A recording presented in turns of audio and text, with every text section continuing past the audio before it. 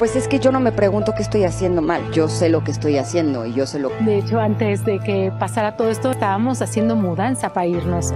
Afirma que fue Fer quien la demandó en 2016. Hoy puedo entender que lo que viví fueron la consecuencia de mis decisiones. En medio de todo el escándalo y la polémica que viven actualmente Ingrid Coronado y Ana Ferro, quien justamente es la viuda del reconocido conductor de Venga la Alegría Fer del Solar, mucho se ha comenzado a especular sobre los bienes y propiedades que justamente el también actor estuvo dejando luego de su partida. Luego que se estuvo informando que Ana Ferro aparentemente está buscando quedarse con el departamento que Fer del Solar en realidad le dejó a sus hijos.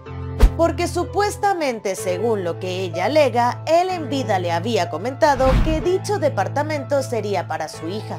Estuvo asegurando que Ingrid Coronado había interpuesto una demanda por pensión alimenticia a Fer del Solar solo unos días después que el padre del conductor desafortunadamente había perdido la vida y que justamente a raíz de esto le habían practicado un estudio socioeconómico al también conductor.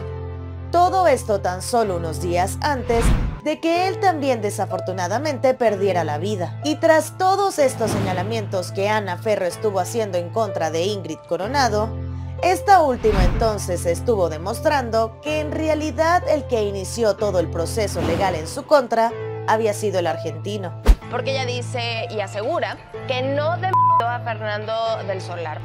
Pues recordemos que Ana Ferro, viuda de Fer del Solar, había mencionado que Ingrid Coronado había solicitado más dinero precisamente alegando que la colegiatura de los niños era más costosa. En mayo, a pocos días de haber fallecido el papá, pero no es que Ingrid lo haya planeado. Mientras que por su parte esta conocida ex Garibaldi estuvo mencionando que este proceso se había iniciado en el año 2016 porque justamente el propio Fernando del Solar había promovido una demanda de divorcio y por esa razón una jueza entonces estuvo solicitando dicho estudio socioeconómico. Fue Fernando quien promovió una demanda de divorcio que se encuentra pendiente de... Además también con toda esta polémica de la herencia de Fernando del Solar y esta disputa de Ana Ferro por un departamento, ella estuvo asegurando que entonces no habría ningún tipo de inconveniente porque aparentemente entonces ella viviría en un departamento que no sería de propiedad de los hijos de Fer del Solar.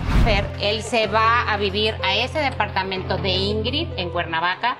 En el... Pero recordemos que según los rumores, el intercambio de palabras entre Ingrid Coronado y Ana Ferro se dieron luego de que circulara la información de que Ferro estaba intentando quedarse con una propiedad de Fer del Solar que justamente le pertenece a los hijos de él. Testamentos no están en el testamento porque esos ya estaban a nombre de cada uno de los, hijos. De hecho, fue el propio periodista Jorge Carvajal quien estuvo asegurando a través de su programa de YouTube que la coach de vida estaba buscando poner a nombre de su hija el departamento que ella vivía con Fer del Solar.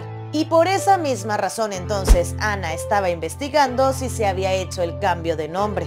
Recuerda que si te gustó este video puedes seguirnos dándole clic acá arriba y así formarás parte de nuestra comunidad. Nos vemos en la próxima ocasión.